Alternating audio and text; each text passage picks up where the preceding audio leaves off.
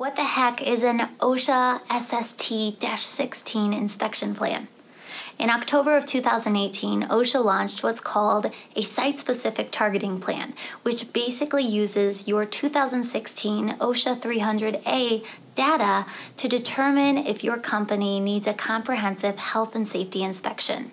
So, in other words, if you have a high number of injuries or illnesses reported on your 2016 OSHA 300A form, or if you fail to report altogether, then you may be at risk of receiving an OSHA inspection.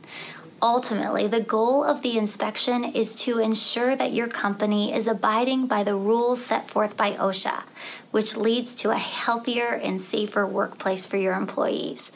But regardless, there's nothing more nerve wracking than having OSHA show up at your doorstep.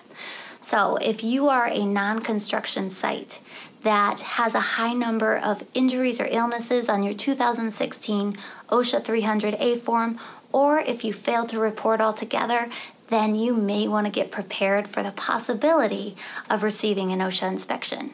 My name's Dani Kimble. I work here at the O'Neill Group. We are an insurance and risk management firm in Wadsworth, Ohio, and we have a number of tools and resources around OSHA, OSHA compliance, and OSHA electronic reporting.